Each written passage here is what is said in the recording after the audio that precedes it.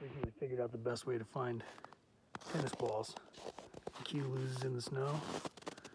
Check this out. Black light, flashlight, they just glow.